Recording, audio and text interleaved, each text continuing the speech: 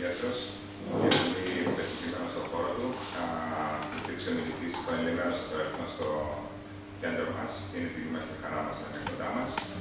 Ε, Ω εκ τούτου θα του παραδώσουμε το βήμα γιατί είναι και τελευταιότατο και θα μας παρασύρει στα δικά του ε, μονοπάτια, που είναι και πολύ σημαντικά. Δεν έχουμε άλλο Δεν έχουμε άλλο, οπότε είναι your time is, the time is yours. Thank you.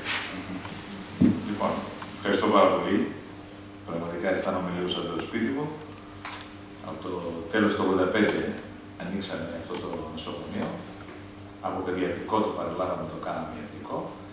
Και η πορεία είναι γνωστή. Σε όλους. Και χαίρομαι γιατί βλέπω και ανθρώπους που έχουν συνεργαστεί σε πολλούς ασθενείς και με πολλές φορτίσεις συστηματικές. Από ο καρκίνος νομίζω ότι δημιουργεί από μόνος του ένα κεφάλαιο φορτίσεων. Λοιπόν, ε, η σημερινή ομιλία είναι το 1 τρίτο της ψυχιατρικής. Αν η ψυχιατρική νοσολογία αποτελείται από τρεις οντότητε μεγάλες, κατά βάση οντότητε, αγχώδεις, κωδικέ, διαταραχές, σχιζοφρενικές και διπολικές, νομίζω ότι σήμερα θα καλύψουμε περίπου το 1 τρίτο των ψυχιατρικών κριτηρίων που καθορίζουν αυτή τη μεγάλη ομάδα των διαταραχών. Οι διαταραχές αυτές ουσιαστικά κινούνται σε ένα πλαίσιο ποικιλομορφίας συμπτωμάτων, πολλών συμπτωμάτων, γι' αυτό και μας μπερδεύουν σε βαθμό σημαντικό στο να βάλουμε κριτήρια στη διάγνωση, αλλά να μπορέσουμε να θεραπεύσουμε αντιστοίχως την κάθε διαταραχή με την συμπτωματολογία που εκπαίδευτε. Και εδώ βλέπουμε στην πρώτη ενότητα ποιες είναι αυτές, τις επιπτώσεις στην ποιότητα ζωής. Ξέρετε ότι το μεγαλύτερο κεφάλαιο της ψυχολογίας και της ψυχιατρικής είναι το κόστος στην επίπτωση όπως κάθε ιατρική οντότητα που νοσολογικά ο άνθρωπος υποφέρει και δυσκολεύεται στη ζωή του. Και τέλος φυσικά η θεραπευτική διαχείριση. Ποιε είναι οι θεραπείες που σήμερα δίνουμε. Εδώ λοιπόν ε, βλέπουμε καταρχήν το πρώτο κεφάλαιο ότι είναι άγχος. Άγχος και φόβος είναι δύο οντότητες που σημειολογικά δεν καθορίζονται απόλυτα, συνυπάρχουν, συλλειτουργούν και πολλές φορές η μία ακυρώνει ή εμποδίζει την άλλη να εκφραστεί ή τέλος η μία παγιδεύει την άλλη. Το άγχος όμως είναι μια ιδιαίτερη προσέγγιση που κλινικά σημειολογείται ως υγιής μηχανισμός. Θα λέγαμε αμυντικός μηχανισμός, στροσογόνος μηχανισμός, που φυσιολογικά κινητοποιεί τον οργανισμό μας με σκοπό να προσαρμοστεί, να προετοιμαστεί απέναντι στην αντιμετώπιση αυτής της εικόνας. Της εικόνας δηλαδή που βάζει, που βάζει την λειτουργία του ερεθίσματος μέσα στην απειλή. Δηλαδή, αν βάλουμε το άγχος και την απειλή ως αντίποδο, θα λέγαμε ότι τελικά το άγχος μας ξυπνάει στο να προστατευτούμε προς την απειλή. Η κινητοποίηση αυτή είναι μια αντιληπτική πραγματικότητα ως υποκειμενική εμπειρία. Δηλαδή, πει ένα ασθενή, περιέγραψε μου τι αισθάνεσαι, μπορεί να σου περιγράψει χιλιάδες συμπτώματα από τα οποία εσύ από κάτω μπορεί να βάλεις στην πλατεία φαρδιά τη λέξη άγχος. Αυτό λοιπόν το άγχος εκτιμάται ως προς την επίπτωση της απειλή. Δηλαδή πόσο αυτός στρεσάρεται, γιατί και η λέξη στρες που σήμερα διαχωρίζεται λίγο από το άγχος, δηλαδή το στρες θα λέγαμε ότι είναι μια ενδογενής αντίδραση του αυτονόμου νευρικού συστήματος, το άγχος είναι μια κινητοποίηση φυσιολογικού μηχανισμού που γίνεται παθολογικό όταν αυτό αρχίζει να υπερεκτιμάται μέσα στην κριτική στη λογική σκέψη του ανθρώπου. Το φυσιολογικό άγχος περιέχει δύο διαστάσεις. Το ψυχικό κομμάτι, πώς ένας άνθρωπος διαχειρίζεται το άγχος του στην γλώσσα της συναισθηματικής αντίληψης και φυσικά η σωματική ανταπόκριση, η βιολογική δηλαδή η ρήγορση μέσα σε αυτή. Ο φόβος αντιστοίχως είναι η προέκταση, η υποκειμενική δηλαδή προέκταση της διάστασης που παίρνει αυτή η ένταση μέσα στην μηχανιστική λογική του αυτονόμου νευρικού συστήματος. Είναι ένα εξαιρετικά δυσάρεστο συνέστημα που το άτομο καταβάλλεται έτσι μέσα στην απειλή ή τη σκέψη ή την αίσθηση ή τη συμμετοχή σε μια πραγματική έννοια κινδύνου να μπορέσει να προετοιμαστεί για να μενθεί τόσο σωματικά όσο και ψυχικά απέναντι σε αυτό το κίνδυνο. Εδώ βλέπετε μερικές μορφές φόβου. Φόβος θανάτου είναι ο μεγαλύτερος φόβος αν έχει παρακολουθήσει κανείς την ιστορία του Γιάννου, θα δει ότι όλη του η θεωρία στηρίχθηκε πάνω στο φόβο του θανάτου. Δηλαδή στην πραγματικότητα της ζωής. Ο Φρόιντ είπε ότι ο θάνατος δεν είναι τίποτα άλλο για να έχει να ζήσεις. Αυτό είναι το μήνυμα ως συμπέρασμα. Άρα ο φόβος του θανάτου που δεν είναι ποτέ διαπραγματεύσιμος και αυτοί που λένε Εγώ έχω δεχτεί το θάνατο και θα πεθάνω και δεν με ενδιαφέρει, είναι μια εκλογήκευση άρνηση και άμυνας απέναντι στον πραγματικό φόβο.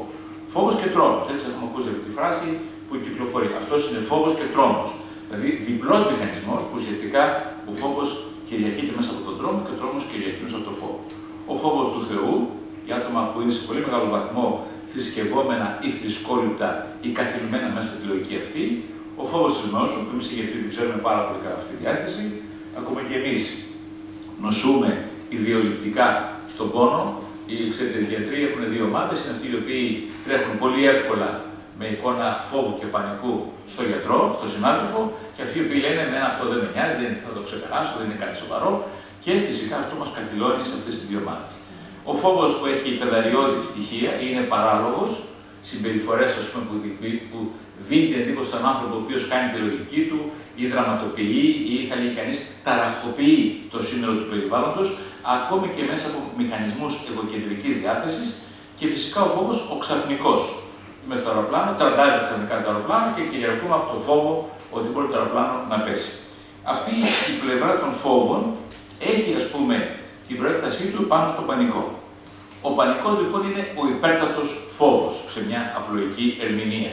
Είναι όμως ένας μηχανισμός που ουσιαστικά παραλύει τη λογική. Δηλαδή, βγαίνουμε έξω από τη λογική κρίση, αρχίζει ο άνθρωπος να σκέφτεται παράλογα πράγματα και οδηγεί τον άνθρωπο αυτόν σε μηχανισμούς εκτός ελέγχου.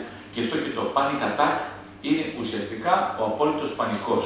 Δηλαδή, ο μη έλογος μηχανισμός άμυνας στο πρόβλημα. Η κρίση πανικού καθιερώνουν φυσικά το άτομο σε συνθήκες προστασίας. Προθέσει ένα γιατρό, καρδιολόγο μάλιστα, ο οποίος πάθαινε κρίση πανικού μέσα στο νοσοκομείο. Και δύο φορές τον είχαν πάει στο ψυχιατρικό τμήμα, γινόταν ρεζίλιο άνθρωπος. Κάποιος του έδωσε λίγο τρανσέντ, αλλά δεν έφτασε για να σταματήσει αυτές τις κρίσεις και ζήτησε βοήθεια. Ήρθε μαζί με τη γυναίκα του και άλλα προβλήματα και μου είπε: Σταμάτα με αυτές τις κρίσεις, γίνονται ρεζίλι, δεν μπορώ να λειτουργήσω. Νιώθω τη ζωή μου καθυλώνεται σε αυτές τις κρίσεις πανικού. Και ακριβώς το κάνουν ευάλωτο και δυσλειτουργικό. Η ιστορική εξέλιξη θα είναι πολύ γρήγορος εδώ και βραχής.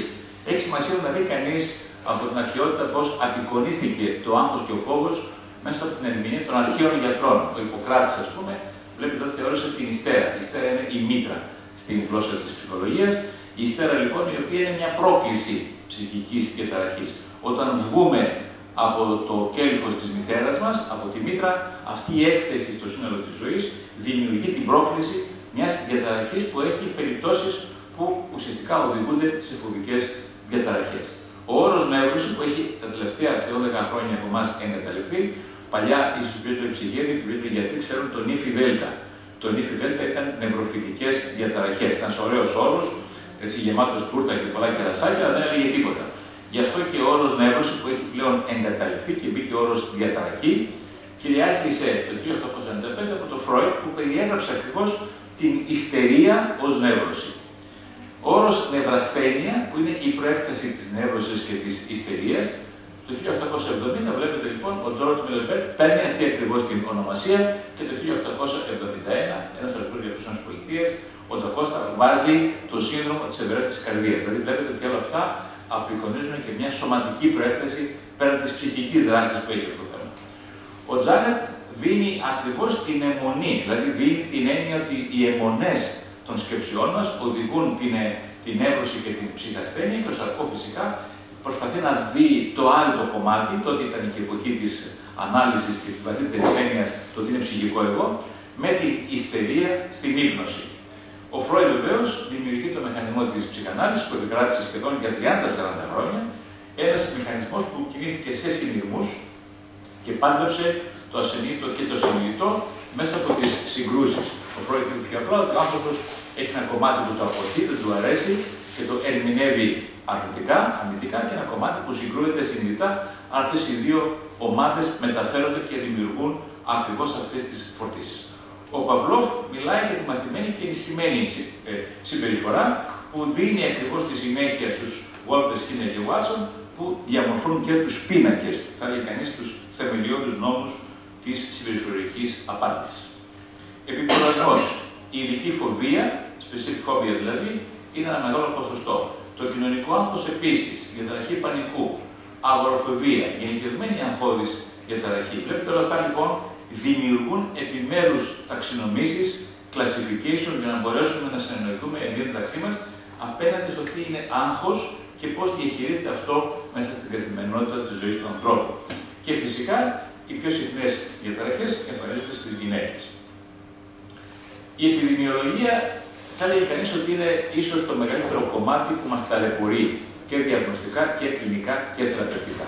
Βλέπετε λοιπόν ότι στο ελληνικό πληθυσμό οι φοβίες σε ασθενεί που έχουν αυτή την ταμπέλα αγχώδη διαταραχή είναι σχεδόν ο ένας στους δύο που οδηγούνται στα ιατρικά κέντρα και στις υπηρεσίες υγείας ψυχικής υγείας, διότι ουσιαστικά δεν νοσηλεύονται. Δηλαδή το κομμάτι αυτό που τρέχει πάρα πολύ στο ιατρείο, αλλά δεν θα καταλήξει εύκολα σε νοσηλεία και σε θεραπευτική προσέγγιση κλινική.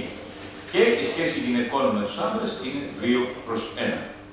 Εδώ θα δούμε κάποιους παράγοντες κινδύνου που συσχετίζονται επιδημιολογικά και βλέπετε ότι και οι νεότερες ηλικίες, γυναίκες στο φύλλο, στη γενετική υπάρχουν πάρα πολλές μελέτες. Έχω φέρει μερικές, δεν θα σας παρουσιάσω ιδιαίτερα, το πώς ταξινομούνται αυτά στο γενετικό κώδικα.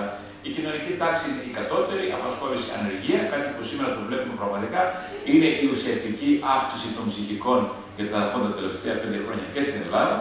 Η οικονομική κατάσταση βέβαια υπάρχει μια αστάθεια, είναι χωρισμένοι αυτοί οι άνθρωποι και η προνοσιωρή προσωπικότητα, ναι, κυρίως η ιδιοψυχαναγκαστική διαταραχή, φαίνεται να μπαίνει πολύ πιο μέσα σε αυτό. Το στρες αποτελεί ένα γεγονός, δηλαδή μια εικόνα ενό συμβάματο ζωής στην καθημερινότητά μας. Η ψυχοβιολογία κινείται στον εγκέφαλο σε ένα δίκτυο που έχει να κάνει με το νοραδρεναλικό σύστημα. Και εδώ βλέπει κανείς πώς ουσίες, όπως είναι η ιοχυμβίνη, για να γελάσει κιόλα, η ιοχυμβίνη χορηγήθηκε ως πρώτο φάρμακο των σεξουαλικών διαταραχών. Δηλαδή στα προβλήματα στήση, δεκαετία του 80, πρωτού μπούμε δεκαετία του 90 που είχε το Viagra κτλ., δίναμε άπλετο χρώμα ιοχυμβίνη στους ασθενείς και τους δημιουργούμε ένα θετικό αποτέλεσμα και πολύ άγχος.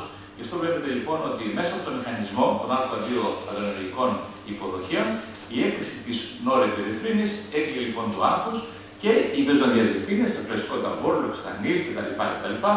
δρούν ουσιαστικά στην κατάλυση αυτής της δράσης της νορεπινεφρίνη. Οι β' ανταγωνιστές ουσιαστικά τι κάνουν, το ξέρουμε όλοι, που το αναχωρήσουμε το κλασικό ιντεράλ που το έχουμε δώσει όλοι μας, ήταν ακριβώς η καταστολή στο αυτόνομο νευρικό σύστημα. Στη ψυχοβιολογία του στρε βλέπουμε ότι η CRH μπαίνει μέσα ακριβώς στο, στο, στο τόξο υπομένονο τόπο, στην υπόφυση, στα επινεφρίδια και ακριβώς είχαμε τη δράση του συμπαθητικού, ενώ μέσα από την διαδράση ουσιαστικά είχαμε την εγρήγορση με τον μηχανισμό αυτής της ουσίας, τη νόρα εδρενολίνη και προσοχή στο, στο μηχανισμό που έχει να κάνει με τη β' ενδορφίνη και φυσικά το ίδιο το ντοπαμινεργικό δίκτυο και κυρίως στο φάσμα του δρεπανοειδού χώρου. Εδώ βλέπετε λοιπόν ότι η CRH δημιουργεί μια κλινική εικόνα, αυξάνει την θερμότητα, μειώνει την όρεξη και μειώνει τη δράση TRH και TSH. Μάλιστα, όπως το εγγυήθηκε το 1982 κάναμε πολλές μελέτες σε σχέση με το πλάσμα TRH και TSH στους αγχώδε φοβικού και καταθλιπτικούς ασθενείς. Η αγχώδη διαταραχή έχει μια ιδιαίτερη δράση λοιπόν και απαντητικότητα στο αυτόνομο νευρικό σύστημα. Εδώ βλέπετε ακριβώς τους μηχανισμούς. Η αυτόνομη δραστηριότητα μεταβάλλει ουσιαστικά όλο το δίκτυο αυτό που βλέπετε και η δραστηριότητα στο κεντρικό νευρικό σύστημα απεικονίζεται στο ηλεκτροεγκεφαλογράφημα με, διάφορες, με διάφορες μορφές αιχμές κύματος από β, θ και α και ουσιαστικά βλέπουμε προκλητά δυναμικά στο τοπικό εγκεφαλικό μεταβολισμό με το μηχάνημα PET ή με το μηχάνημα SPEC, που είναι το μονίδιο φωτόνιο. Η αντίδραση στη συμπεριφορά μας εδώ βλέπει κανείς ότι είναι η απευαισθητοποίηση. Δηλαδή, ο ασθενής μπαίνει μέσα στο φοβογόνο αντικείμενο, ένας ο οποίος είναι φοβικός στο να φύγει από το σπίτι του, του λέμε, ας πούμε, ότι θα πας σήμερα ένα χιλιόμετρο, αύριο θα πας ένα χιλιόμετρο και 500 μέτρα. Μεθαύριο, ουσιαστικά λοιπόν δημιουργούμε ένα κλίμα ενίσχυσης, απευαισθητοποιώντα το προκλητό αντικείμενο, το λεγόμενο φοβογόνο αντικείμενο, το οποίο τι κάνει, αυξάνει το περιοδικό ρυθμό, αναπληρωματική συχνότητα και φυσικά δίνει και μια ηλεκτροδερματική αγωνιμότητα. Εδώ βλέπει κανείς ακριβώς τον βαθμό του value της ψυχοφυσιολογικής ένδειξης μέσα στο αυτόνομο σύστημα, στην απαντητικότητα, σε σχέση με το θεραπευτικό αποτέλεσμα. Δηλαδή, ουσιαστικά βλέπει κανείς πόσο βοηθιέται μέσα από τη θεραπεία να μειωθεί αυτή η απαντητικότητα και η γρήγορη του αυτονόμου νευρικού συστήματος. Η ψυχοδυναμική είναι οι ασυνείδητοι μηχανισμοί και οι παρορμήσεις. Δύο μεγάλες ομάδες της ψυχικής φάσης που δημιουργούν το κόστος της απειλής και της επιθετικότητα προς το συνειδητό. Πιο απλά τι κάνουμε; Του φιλτράρουμε ουσιαστικά μέσα από την αναζήτηση του ασθενήτου και του προκλητικού μηχανισμού του το δικαίωμα να διαχειρίζεται αυτός το άνθρωπος.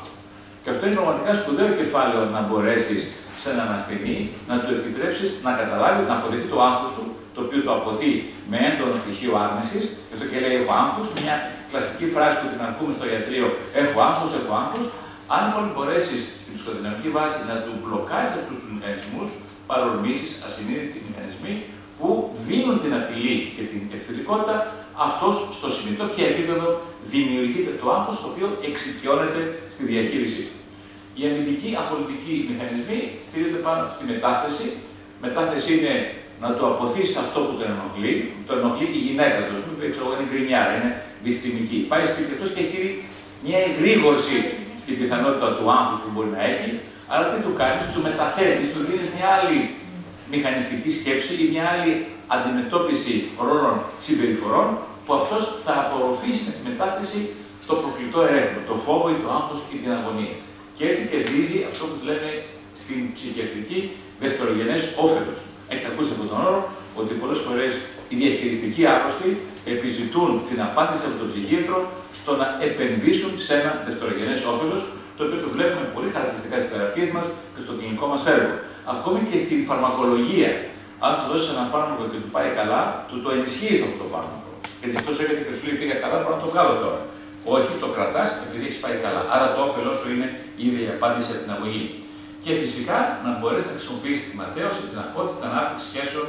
Αυτό ακριβώς επιθετικότητας και εξάρτηση. Αυτοί οι ασθενεί κατά βάση έχουν επιθετικότητα προς τον εαυτό τους και προς το περιβάλλον τους και παράλληλα δημιουργούν και μηχανισμούς εξάρτηση. Δηλαδή δεν μπορούν να ζήσουν από αυτούς. Είναι αυτό που λέγαμε σε μια προεκτή γλώσσα, μαζί δεν κάνουμε και χώρια δεν μπορούμε. Η κοινωνική ιδιότητα είναι πραγματικά μια σημαντική πλευρά στο πώς η κοινωνία με τα στεγανά και τα πρότυπά της επενδύει ή αποσχίζει τις συμπεριφορές που η πρόκληση απεικονίζει την αιτιότητα. Και απλά ο ίδιος ο μηχανισμός μιας κλινική εικόνας που η κοινωνία μπορεί να το αποδέχεται, αυτός είναι ιδιότοπος, είναι, είναι ιδιόρυθμος, είναι κακός άνθρωπος. Μπαίνει ως απάντηση σε μια συμπεριφορά. Εδώ και μια φορά ρωτάμε πώς σε βλέπουν οι άνθρωποι γύρω σου, τι εικόνα εκπέμπεις αυτούς, τι λένε για σένα. Αυτό είναι η κοινωνική αιτιότητα. Η συνόσηση, που νομίζω πως είναι πάρα πολύ μεγάλη και θα σας πω απλώς τις ταμπέλες μας για τα του πανικού κοινωνική φοβία. Όπως ξέρετε, είναι ένας πολύ μεγάλος φοβικός χώρος δικτύωσης συμπτωμάτων που το άτομο το κάνει πολύ ευάλωτο και δυσλειτουργικό. Η ψυχαναγκαστική διαταραχή που την έχετε εσείς ω παθολόγοι και ω υπόλοιποι γιατροί, το αιμονικό, το φοβικό άτομο που κολλάει σε πράξεις, σε ψυχαναγκασμούς, σε ρόλους, σε σκέψεις. Η γενικευμένη αγχώδη διαταραχή που μπορεί να συνεπάρχει με την κατάσταση, αυτό πολλές φορές κρύβει κατάθλιψη και δυστυχώς έχουμε δει περιπτώσεις κυρίως των γενικών γιατρών που δίνουν ένα απλό ηρεμιστικό που δεν πιάνει την κατάθλιψη, μπορεί λίγο να ανακοφίζει συμπτωματολογικά τον άρρωστο, αλλά το καταθλιπτικό φάσμα δεν υποχωρεί και φυσικά τη δυστημία. Η δυστημία τα τελευταία χρόνια σε εμάς αποτελεί μια ιδιαίτερη κατηγορία ασθενών. Τους έχουμε ταξινομήσει, είναι ένα εξαιρετικά δύσκολο σύμβαμα πολλαπλών αντιφατικών συμπτωμάτων που το άτομο το κάνει να είναι συνεχές γκρινιάρικο, αρνητικό, δίσκαμπτο, δυσλειτουργικό, δυσαπορροφητικό.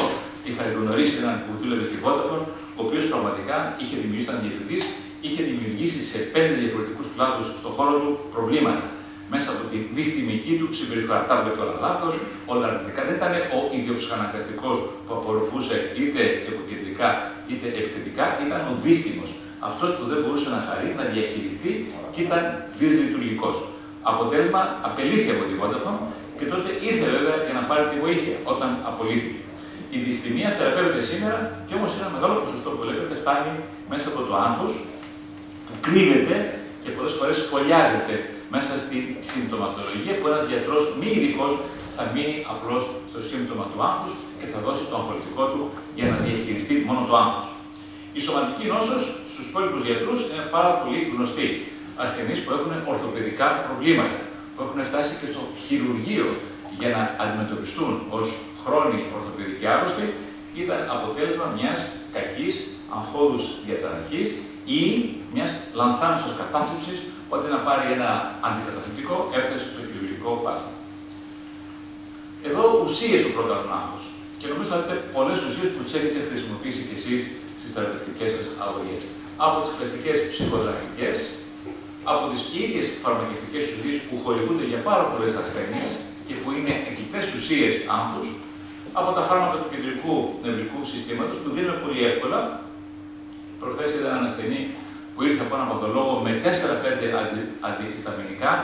Τα έχασα και εγώ, αυτός έπαιρνε σαρωτέν χρονίως και του έδωσε αυτός, ας πούμε, και τα αντισταμινικά και με ρώτησε φυσικά ο άνθρωπος, του είπα δεν μπορεί να πάρεις τόσο πολλά αντισταμινικά.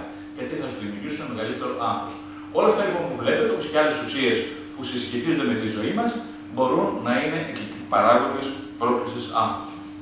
Η διαφορετική διάγνωση βεβαίως πρέπει να έχει να κάνει με τις διαταραχές της διάθεσης, κυρίως την κατάθλιψη, που είτε υπάρχει είτε είναι υπολανθάνουσα είτε εκκλητικά προέρχεται.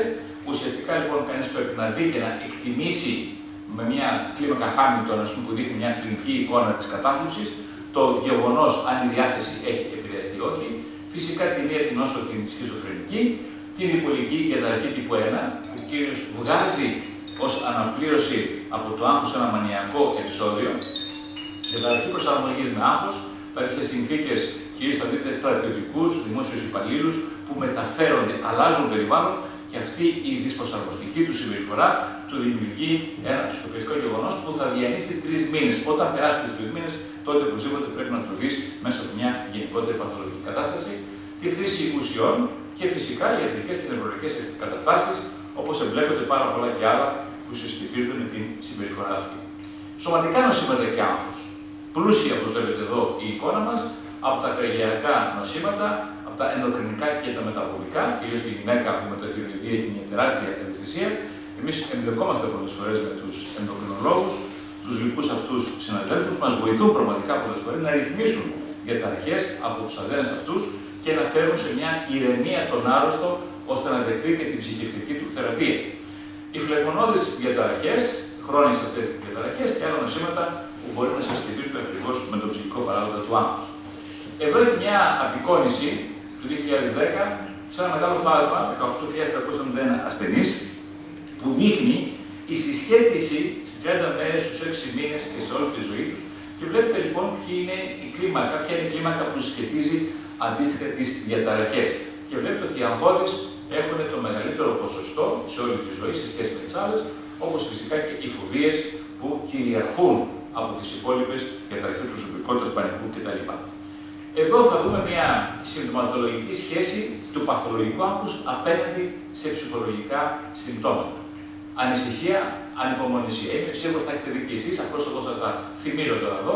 Αίσθημα ωραίο του φόβου και αγωνίας, νευρικότητα, διάσπαση προσοχής που έρχεται πολλές φορές και είναι αυτό κυρίως στην εφηβεία ή στην πρώην ηλικία που είναι απαιτητική η μάθηση, να έρχεται με το σύμπτωμα αυτό στη συγκέντρωση αίσθημα μειωμένη αθλητικής ικανότητας, άρα οι γνωστικές λειτουργίες έχουν επηρεαστεί σημαντικά.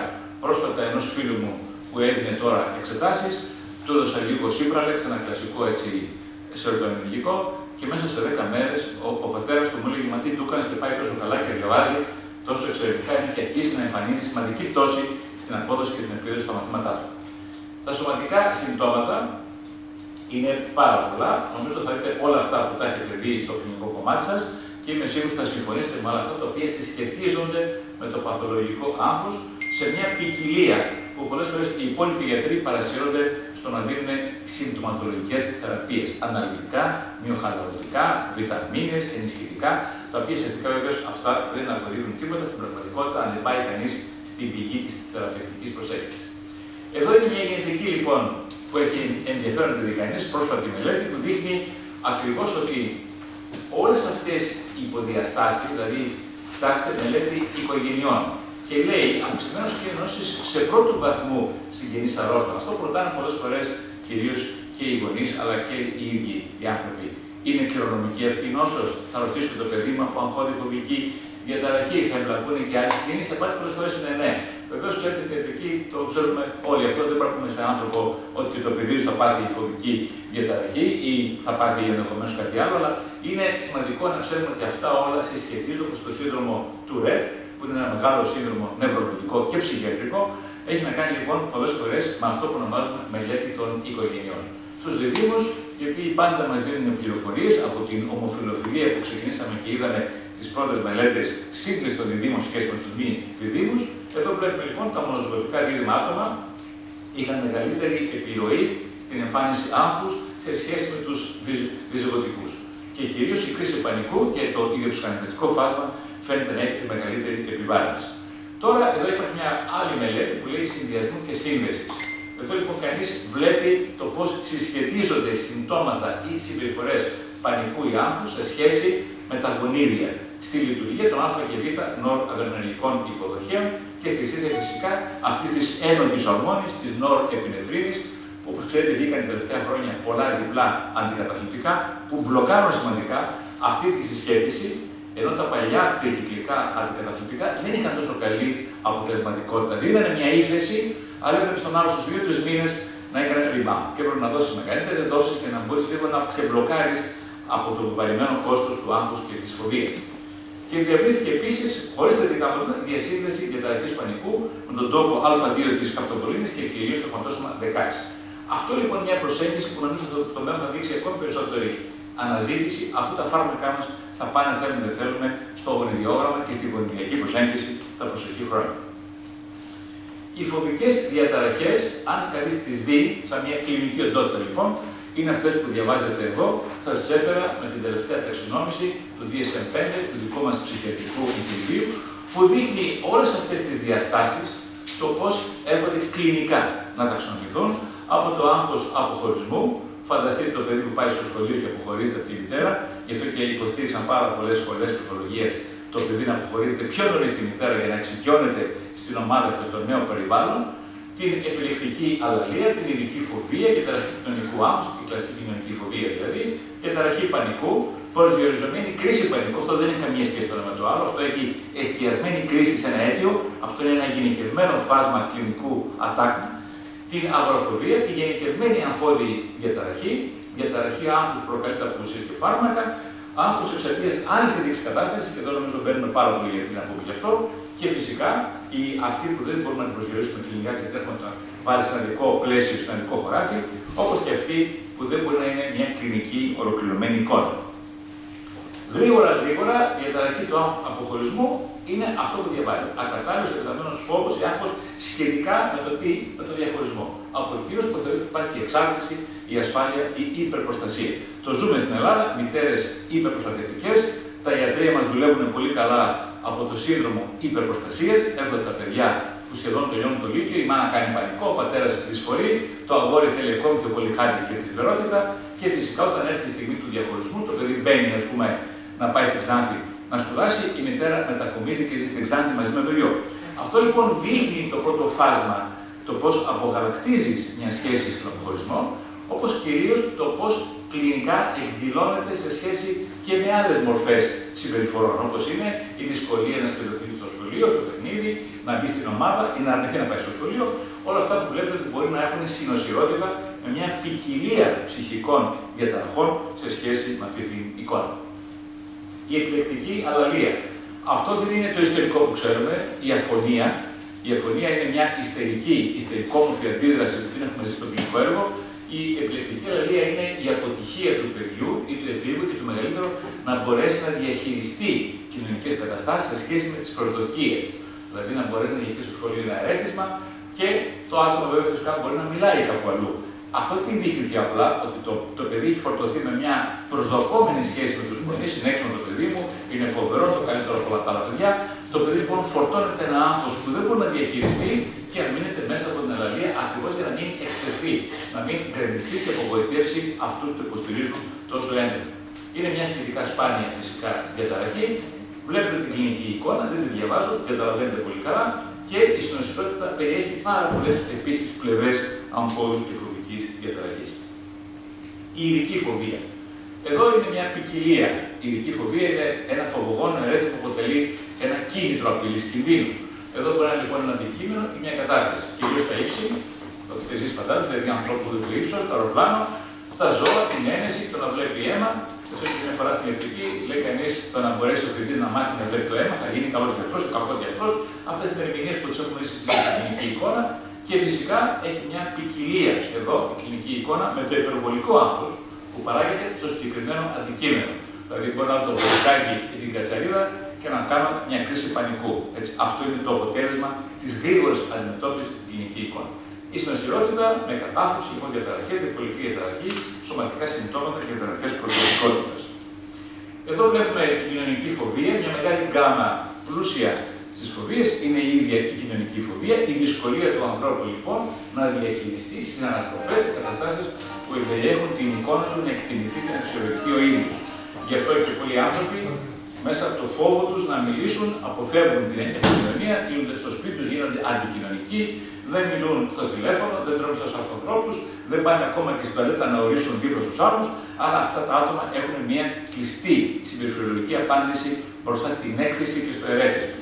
Φυσικά αυτά όλα τα βλέπετε εδώ και τη συνοσυρότητα μέσα από την γυναικεία εικόνα είναι οι φόβοι κυρίως, οι κοινωνικοί φόβοι, οι γυναίκες, να ξέρετε, είναι κοινωνικά περισσότερο ευάλωτες στην κοινωνική κριτική και στο φόβο. Μεγαλώνουν μέσα από την κοινωνική έκθεση ότι η γυναίκα πρέπει να είναι πιο σωστή, πιο τυποποιημένη, πιο οριοθετημένη από τον άλλο, που έχει περιθώρια να κάνει και λάθη και να διαφύγει. Και όσο και αν η κοινωνία γίνεται σύγχρονη και η γυναίκα πρωταγωνιστική, αυτά τα πρότυπα εξακολουθούν να κρατούν σημαντικά τους ρόλους. Οι άντρες φοβούνται να βγουν ραντεβού, αντίστοιχη προκλητική διαταραχή, διαταραχή διαγωγής, αλκοόλ και ναρκωτικά. Πολλές φορές, μάλιστα, στην κοινωνική φοβία βλέπουμε χρήση ουσιών έτσι, στους ανθρώπους, κυρίως του αλκοόλ. Όταν κάποιος είναι δηλό ή πρέπει να πάει στο να μιλήσει σε μια ομάδα γιατί είναι υπεύθυνος σε ένα τομέα, μπορεί να χτυπήσει και ένα δύο ουίσκι που του μιλήσει πούμε, και να φτάσει συνηθισμένο στην ομιλία. Αυτό που βλέπουμε πολλές φορές εδώ, την ταραχή πανικού, είναι ακριβώς το attached treatment, δηλαδή ότι πια ο άνθρωπος απορριθμίζεται και θέλει άμεση βοήθεια. Απορριθμίζεται σε όλα τα σωματικά και γνωστικά του συμπτώματα και δεν μπορεί να ελέγξει τίποτα από αυτά γιατί έχει μπροστά του το φόβο ότι μπορεί να πεθάνει. Η κλινική εικόνα είναι και εδώ σημαντική, κυρίως ότι συμβαίνει στα 20-24 χρόνια ζωής του ανθρώπου και εμφανίζεται και στα δύο φύλλα, δεν έχει διαφορετικές προσεγγίσεις. Η συνοσυρότητα, όπως βλέπετε, είναι με όλα αυτά περίπου που είδαμε και στην προηγούμενη μας καρτέλα. Αυτή είναι η, η ειδική προσδιορισμένη κρίση πανικού. Θα μου πείτε πολλές φορές δεν είναι κλινικά εμφανές και εμείς την έχουμε πατήσει. Τι είναι διαταραχή πανικού και τι είναι προσδιορισμένη κρίση πανικού. Εδώ σημαίνει πρέπει να δώσει αρκετό χρόνο στον αρρωστό σου, κάτι που πολλές φορές δεν το κάνουμε στα κλινικά μας ιατρία και το ξέρουμε όλοι μας αυτό, γιατί πιεζόμαστε από τους ασθενείς μας, γιατί έχουμε κουραστεί και εμείς οι ίδιοι. Αυτό λοιπόν που πρέπει να ξέρουμε είναι ότι εδώ δεν είναι μια διαταραχή. Και καμιά φορά έχουμε δει διαγνώσεις σε κρίση πανικού που έχει μπει διαταραχή πανικού. Θα μου πείτε γιατί αλλάζει. Αλλάζει ακόμα και το θεραπευτικό μοντέλο. Η κρίση πανικού είναι μια συμπτωματολογική προσέγγιση μέσα από συνθήκες σε ένα πλαίσιο που κινείται το άτομο κάτω από συμπεριφερολογικέ αναγνωρίσεις. Αυτό πρέπει να πολεμήσεις και όχι να πάει σε μια χρόνια θεραπεία όπως θα πάει αυτός που έχει την διαταραχή του πανικού. Διαφέρει λοιπόν ότι η παρουσία της κρίσης συμπεριλαμβάνεται στα κριτήρια για τη διαταραχή, όχι σαν προσδιορισμό. Άρα συμμετέχει, αλλά δεν είναι η βασική διαταραχή που ξέρουμε στην κοινωνική εικόνα. Η αγοραφοβία επίσης είναι πολύ γνωστή, το ξέρετε αυτό. Τα άτομα τα οποία δυσκολεύονται και δυσφορούν. Είχαν ένα ασθενή ο οποίος όταν καλείτο ήταν πολύ κοινωνικό αυτός και του άρεσε να πηγαίνει σε χώρους, αλλά πρώτη πάντα να κάθεται στην πόρτα. Δηλαδή του έλεγα, πήγε στην ομιλία του τάδε, πήγα στον τάδε. Πού έκατσε κοντά στην πόρτα γιατί. ώστε να γίνει κάτι να μπορώ να φύγω πρώτος. Πάντα λοιπόν αυτός είχε το φόβο της γρήγορης άμυνας και της εγρήγορσης στην απειλή. Και βλέπετε λοιπόν ότι η δυσφορία είναι ότι δεν μπορεί να ξεφύγει αυτό το στοιχείο της αγοροφοβία. Αισθάνεται ότι αυτός πνίγεται μέσα σε ένα πλήθος, σε μια κατάσταση και βγάζει συμπτώματα, αδυναμία, αμηχανία, έλλειψη ελέγχου πανικού, ακόμη φυσικά και λιποθυμικό επεισόδιο. Ε, στην γενικευμένη αγχώδια διαταραχή, που αυτό θα λέει κανείς ότι είναι η πιο εύκολη ταμπέλα να τη βάλουμε, γενικευμένη αγχώδια διαταραχή, τη βάζουμε εξηγητικά και αόριστα. Εδώ τι βλέπουμε χαρακτηριστικό, το επίμονο και εκτεταμένο άγχος, ανησυχίες σε διάφορους τομείς όπως επαγγελματική μαθησιακή επίρρωση, αδυναμία, απόδοση και λειτουργικότητα, που συνεχώς, προσέξτε, συνεχώς το άτομο δηλώνει απορριφθισμένο. Αυτό είναι το γενικευμένο. Ενώ το άλλο μπορεί να είναι καταφάσει, καταώσει στη ζωή του, αυτός αυτός ο άνθρωπος έχει επίμονο και κραταμένο άγχος που συνεχώς τον καθυλώνει και τον απορριθμίζει. Η κλινική εικόνα, όπως βλέπετε, είναι πάρα πολύ μεγάλη και αυτή εδώ. Θα μείνουμε στην ευερεθιστότητα που δεν έχουν οι υπόλοιπες διαταραχές, δηλαδή το άτομο αυτό είναι πολύ πιο ευθετικό, πιο έντονος στις αντιδράσεις του, έχει μυϊκή ένταση και διαταραχές του ύπνου, και αυτό νομίζω πως είναι χαρακτηριστικό τη δράση μια βεζονιαζεπίνη. Το να δώσεις είναι καλό μια βεζονιαζεπίνη, το να μειώσει το άγχος του φέρει ένα καλό ύπνο και η ανησυχία ξεπερνά την πραγματική διάσταση στην επίδραση του προσδοκόμενου γεγονότος. Είναι μόνιμα αυτό που θα λέγαμε, αυτό είναι σε ένα μόνιμο tension, σε μια υπερένταση που χρειάζεται να εφέλει θεραπευτικά. Η ενταραχή του άγχους προκαλεί τα και φάρμακα. Εδώ νομίζω ότι είναι κατανοητό. Αυτοί οι οποίοι όλοι χρησιμοποιούν ουσίες είτε για να χαλαρώσουν, είτε για να φτιαχτούν, είτε γιατί μιμητικά συμπεριφέρονται με τον τρόπο. Και εδώ υπάρχει μια μεγάλη ποικιλία ουσιών από την κλασική φερικυκλίνη, η οποία βεβαίως είναι παρασιογόνα, δημιουργούν δηλαδή μιμητικέ συμπεριφορές, διαγερτικά, άλλες ουσίες, αλκοόλ, καφές, κλασικά, η κάναβη που σχεδόν είναι 6 στα 10 αγόρια της εφηβεία κάνουν χρήση κάναβης, αντιλαμβάνεστε εγώ ότι αυτά είναι φαινόμενα που λίγο πολύ μπορεί να μπουν σε μια τέτοια εικόνα μέχρι στέρηση αποσύρ ή για να πάει κανείς και σε ιατρική αγωγή. Η διαταραχή του άγχους εξαρτία άλλης τη κατάστασης και όταν κανείς βλέπει τα συμπτώματα του άγχους είναι επακόλουθα μιας ιατρική κατάστασης, ένας καρκίνος, ένα χρόνιο νόσημα. Ξέρετε, τελευταία χρόνια δίνεται μια έμφαση και στα ψυχοσωματικά νοσήματα. Εκεί μπαίνει και ο καρκίνος, αρχίζει δηλαδή να γίνεται και ο καρκίνος ένα ψυχοσωματικό νόσημα. σω η ιατρική βάζει μια ταμπέλα που δημιουργεί τη σύζευξη ψυχικού και σωματικού άλγου ή ψυχικού και σωματικού προβλήματος. Να σας πω ότι εμείς οι ψυχίατροι ήμασταν παρεξηγημένοι οντότητα για πολλά χρόνια. Πολλοί γιατί δεν μας δεχόντουσαν, μας θεωρούσαν τρελούς φυσικά τους ίδιους, μας θεωρούσαν ότι είχαμε ιδιαίτερες σκέψεις και ιδιαίτερες ιδέες, ιδιαίτερε συμπεριφορές. Τα τελευταία όμως 30 χρόνια η ψυχιατρική έχει πει για καλά στην κλινική ιατρική και αποτελεί μέρος πλέον και της ιατρικής κατάστασης ως δρόμενο ψυχιατρικής πορεία. Εδώ βλέπετε λοιπόν νοσήματα που συσχετίζονται με αυτό το άγχος, όπως επίσης μια διαταραχή που δεν μπορούμε να την ταξινομήσουμε από τα συμπτώματά μας και δεν έχουμε σε αυτές τις δύο εικόνες σαφή πληροφορία και σαφή διάγνωση. Εδώ μπαίνει κανείς λίγο στην κατάθλιψη, που είναι η πιο συχνή συνοσυρότητα της αγχώδη φοβική διαταραχής. Πολλοί υποστηρίζουν ότι το παραταμένο άγχος προκαλεί κατάθλιψη, άλλοι υποστηρίζουν ότι η κατάθλιψη δεν έχει σχέση με το άγχος, απλώς υπάρχει και το ένα με το άλλο συλλειτουργούν στην παθολογία. Εδώ κανείς βάζει τη δική του απάντηση. Θα συμφωνήσω ότι το παραταμένο άγχος προκαλεί κατάθλιψη, το έχουμε δει σε κλινικούς αρρώστους, που αν το άγχος δεν διαχειριστεί και ο φόβος δεν ελεγχθεί, το άτομο θα εγκλωβιστεί και θα γίνει μοντήρες ή θα απομονωθεί σε ένα καταθλιπτικό φάσμα. Δεν έχει βέβαια σχέση με την ενδοχημική κατάθλιψη, αυτό που λέμε τη μείζωνα κατάθλιψη, τη χημική μελαγχολία, αλλά φαίνεται ότι η κατάθλιψη αποτελεί μια συμπτωματολογική εντότητα πολλών παραμέτρων. Εδώ βλέπει κανείς λοιπόν την εικόνα, κυρίως την άργια και ευερέθητη διάθεση, τη στενάχωρη σχέση με τον εαυτό του, τη συνοδεία σωματικών και γνωστικών αλλαγών και φυσικά την ικανότητα του ατόμου που επηρεάζεται να μπορεί να λειτουργήσει κανονικά στους ρυθμούς της ζωής του. Οι επιπτώσεις, σε αυτό θα είμαι εστιακό, νομίζω ότι αυτό ο πίνακα τα λέει όλα και όταν ήμουν στην Αμερική, θυμάμαι, είχα δουλέψει μια μικρή περίοδο στην ATM για να οικονομήσω κάποια δολάρια. Ε, το πρώτο πράγμα με ρωτάγαν εκεί, οι διευθυντές μου είναι να τον ρωτήσεις πώς αισθάνεται στο εργασιακό χώρο, πώς αισθάνεται στο σπίτι του, πώς αισθάνεται ψυχικά ο ίδιος, ακόμη να τον ρωτήσεις και για τη σεξουαλική του ζωή. Και στην αρχή νομίζω ότι ήταν πολύ περίεργοι αυτοί που θα τα μάθουν όλα. Νομίζω ότι είναι πάρα πολύ σωστό ότι ήθελαν να γνωρίζουν το πώς αυτός ο άνθρωπος γενικά κινείται και αισθάνεται με τον εαυτό του λειτουργικά.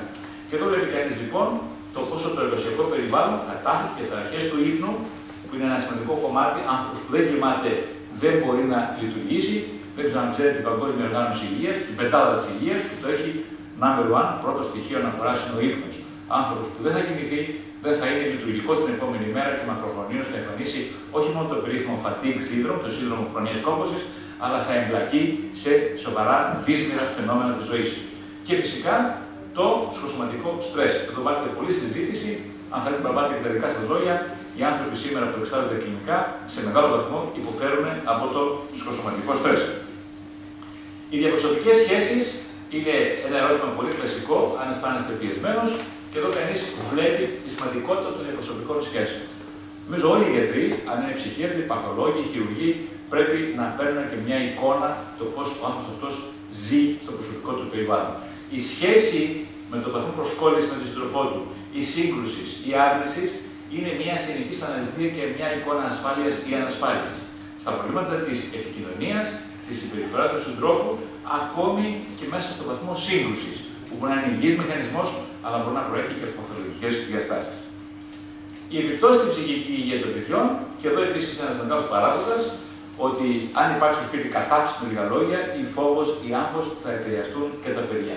Και αυτό θα μειώσει τη σταθερότητα και τη φροντίδα που δεν θα μπορεί να ανταποκριθεί ο καταθλιπτικός άρρωστο μέσα στο προσωπικό του περιβάλλον. Το έχω ζήσει προσωπικά τα 30 χρόνια κλινικής ψυχιατρικής, πολλές φορές ότι ο άνθρωπος που νοσεί ψυχικά με στο σπίτι, νοσεί όλη η οικογένεια. Και αυτό λοιπόν δημιουργεί σύγχυση των ρόλων, ψυχικές αναστολές των αναγκών και διαμόρφωση ενός ψευδού σε αυτό.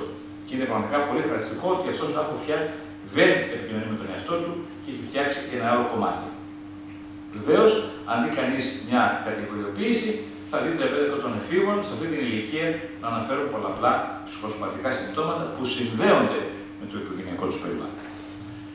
Στην τρίτη ηλικία δείχνει κανείς εδώ ένα ποσοστό που είναι μεγάλο, 35-55%, ψηλότερο ποσοστό στις γυναίκες, όταν να ξέρετε τρίτη ηλικία αυτοκτονεί, πολύ περισσότερο, ε, ενώ η μέση ηλικία φωνάζει ότι θα αυτοκτονήσει, η τρίτη ηλικία αυτοκτονεί με το δρόμενο ότι πλέον τελείωσε η ζωή του και δεν έχει νόημα να υπάρχει, κυρίως σε επίπεδο υπαρξιακό αλλά και συναισθηματικό. Υπαρξιακός σημαίνει ότι είναι άχρηστος, δεν το δέχεται κανείς. Νομίζω θα δει κανείς έξω προγράμματα για τρίτη ηλικία, οι άνθρωποι αυτοί αξιοποιούνται. Εδώ λοιπόν αυτή η πλευρά συνεπάρχει και με άγχος με φοβία μια ποικιλία που πολλές φορές δεν την εμφανίζει, δεν τον ρωτάμε. Στην τρίτη ηλικία λιγάκι είμαστε αρνητικοί. Πόσο χρόνο είσαι 75. Ε, θα κάνω λίγες ερωτήσεις, είσαι 75 χρόνων, χαλάρι σου. Όχι, πρέπει να είμαστε το ίδιο προσεκτικοί στο να αξιολογήσουμε το ψυχικό φάσμα των ανθρώπων αυτών. Λιγότερη πιθανότητα σε έγχρωμου και σύγκριση με χείρους, διαζευμένου και μοναχικού ανθρώπου. Αυτό είναι γνωστό, δεν λέω κάτι καινούριο σε εσάς. Τα σεξουαλικά προβλήματα είναι μια ιδιαίτερη κατηγορία που έπρεπε να σας τα φέρω και αυτά, γιατί φωτογραφίζουν ακριβώς την επαγγελματική σχέση και το στρες μέσα από την σεξουαλικότητα. Και βλέπετε λοιπόν η μείωση της σεξουαλικής ερωτικής επιθυμία ή τις λειτουργίες που ποικίλουν σε ηλικίες πολύ μάχημες, ηλικίες 20-45 χρόνων. Εδώ βλέπει κανείς τη συσχέτιση των φοβιών με τα σεξουαλικά προβλήματα, η κοινωνική φοβία, το έχουμε μέσα στη σχέση, συνδέονται κυρίως στον άντρα με την πρόορη εξτρομάτια ταραχέ του οργασμού και οδηγεί σε έλλειψη ελέγχου σωματικών αντιδράσεων και συναισθημάτων κάτω από συνθήκες θέσης. Η θεραπευτική μας πλευρά έχει να κάνει κυρίως με την αξιολόγηση. Δεν θα σας κουράσω άλλο, θα μείνω σε αυτό. Αξιολόγηση για όλους τους γιατρούς ίσως είναι το σημαντικότερο κομμάτι της ύπαρξής μας. Γινήκαμε γιατροί για να μπορούμε να αξιολογούμε θεραπευτικά έναν άνθρωπο και να μπορούμε τα συμπτώματα να τα βάζουμε σε μια βάση κλινικών δεδομένων. Εδώ λοιπόν θα δούμε ότι πολλοί δεν ζητούν βοήθεια. Πολλοί άνθρωποι που έχουν τέτοια προβλήματα και έχω δει περιπτώσεις ανθρώπων και από το περιβάλλον μου που δεν φτάνουν στο ελληνικό, δεν θέλουν να πάρουν απολυτικά, δεν θέλουν το ψυγείο που θα βοηθήσει, άρα μένουν αβοήθητοι. Και κυρίως δεν έχουν την ενσυναίσθηση το πώς τέτοια, μια τέτοια εικόνα μπορεί να δημιουργήσει προβλήματα ενώ υπάρχουν αποτελεσματικές θεραπείες. Τα φάρμακα ανακοφίνουν από τα συμπτώματα δεν θεραπεύουν.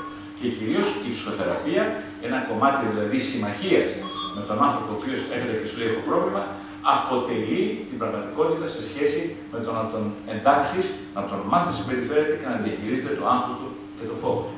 Η θεραπεία είναι η βιολογική, εδώ είναι μια γκάμα που έχετε εικόνα αυτών των φαρμάκων, έχετε δώσει και εσείς σίγουρα σε SRIs, τα πληκτικά, αναστολέ μάλλον δεν υπάρχουν στην Ελλάδα, τα SNRIs, τα διπλά, κλασικό είναι το ρεμερό να το έχετε ακούσει, και φυσικά το να κάνει κανείς ηλεκτροσπασμοθεραπεία ή τα αντιψυχωτικά όταν επιμείνει σε μεγάλο βαθμό το ψυχικό φάσμα και δεν υποχωρεί. Αντιστοίχως στην ψυχοθεραπεία δουλεύει πολύ καλά η ατομική, η ομαδική όταν γκρουπάρεται σωστά, όχι όταν βάλουμε ανομοιογενείς φοβικούς ή αγχωτικούς, όταν γκρουπάρουν συμμαχικά συμπτώματα και όχι αντιθετικά συμπτώματα, εκεί θα αποτύχει η ομαδική μας. Η οικογένεια, είναι σπουδαίο κεφάλαιο να βοηθήσεις τα μέλη της οικογένειας που δυσφορούν μαζί του ή πολλές φορές λένε ότι παίζει, δεν είναι άρρωστος, κάνει τον άρρωστο. Ή τέλος το ζευγάρι το ίδιο το οποίο φέρνει τα προβλήματά του και την ανάγκη της θεραπείας. Το φάρμακο αποτελεί μια σπουδαία πλευρά διαχείρισης και βλέπετε λοιπόν η ανάγκη να έχουμε έναν άρρωστο που να συνεργάζεται, να είναι συνεπής στη θεραπεία του, να έχει πιστικότητα από τον γιατρό ότι αυτό είναι το πρέπον, αυτό πρέπει να γίνει, για να γίνει θεραπευτικός στόχος απέναντι στην ιδανική δόση. Πολλοί ασθενείς, το ξέρετε, ψάχνουν το ιδανικό φάρμακο. Έχω δει περιπτώσεις ασθενών που έχουν στην τσέπη τους και άλλες συνταγές και έχουν βγει το γραφείο τους στον δρόμο τους έχω δει που κοιτάνε τη μία και την άλλη συνταγή. Στην αναζήτηση του ιδανικού φαρμάκου. Και το ιδανικό φάρμακο, η ιδανική δόση είναι αυτό που οδηγεί τον άνθρωπο στις παρενέργειες και στη μη συνεργασία της σχέσης. Οι ψυχολογικές θεραπείες είναι πολλές. Δεν θα σας κουράσω με αυτό, απλώς σας έφερα από την εναισθητική, την συμπεριφορική που απαντάει πάρα πολύ καλά, στο μηχανισμό κυρίως της απευαισθητοποίηση και της κατακλυσμικής προσέγγισης, η γνωσιακή θεραπεία που έχει κερδίσει τα τελευταία 20 χρόνια, δουλεύουν πολύ ωραία τα μοντέλα της γνωσιακής προσέγγισης και η ομαδική, όπως είπαμε, στο να δει κανείς την ομάδα, οι συμπάσχοντε που ο ένας ουσιαστικά αναγνωρίζεται μέσα από τον άλλο. Εδώ δείχνει μια εικόνα που την έφερα απλώς για να δείτε τα φάρμακα που τα έχετε δώσει και εσείς κατά κόρον και είμαι σίγουρος ότι τα ξέρετε. Φάρμακα που δημιουργούν μια ανακουφιστική ελεγχόμενη συμπτωματολογική προσέγγιση. Ο μέγιστο βαθμός στάθμης στο αίμα σε ώρες και βλέπετε λοιπόν το Ζάναξ, το κλασικό, το κλασικό Ζάναξ, έτσι που το ξέρουμε όλοι σαν το επόμενο ταβόρο, παλιά δίναμε πάρα πολύ ταβόρο, τώρα δίνουμε πάρα πολύ Ζάναξ. Βλέπετε λοιπόν ότι έχει 11 ώρες, με χρόνο μισή ζωή 6-16 ώρες. Το Λεξανδρίο που έχει πολύ καλύτερη ανταπόκριση στα σωματικά συμπτώματα. Βλέπετε μία με 4 μέση ώρες στο, στο αίμα, 20 με 30 ώρες. Το στεντόν, το Valium, το κλασικό αυτό μειοχαλαρωτικό που τον δίναμε για πάσα νόσο και μαλακή τα περισσότερα χρόνια, 0,5 έως 2 με 20 με 70 ώρες. Εδώ βλέπετε το φρίζο, το τρανσέ, αντιστοίχως. Εδώ βλέπετε και αυτό και έχει πάρα πολύ καλή απεικόνηση στο να μπορέσει κανείς να δώσει χρόνους που ουσιαστικά βοηθούν μέσα από την αγωγή την ίδια. Θα τελειώσω και σας ευχαριστώ που με ακούσατε με τα συμπεράσματα ότι ο φόβος είναι μια ανθρώπινη άμυνα και αδυναμία, είναι φυσιολογικός μηχανισμός που όταν υπερβάλλει δίνει αδυναμία. Η θεραπεία είναι η απάντηση και η επιστροφή στην ποιότητα ζωής, αυτός είναι και ο στόχος σε έναν άνθρωπο που θέλει να σε βοηθήσει και να τον βοηθήσεις. Και τέλος, η συμμόρφωση, το περίφημο compliance για όλους τους γιατρούς και τους ασθενείς, είναι η εγγύηση διατήρησης ψυχικής και σωματικής ευεξία. Σας ευχαριστώ πάρα πολύ που με ακούσατε. Ελπίζω να μην σας κούρασα. σχόλια.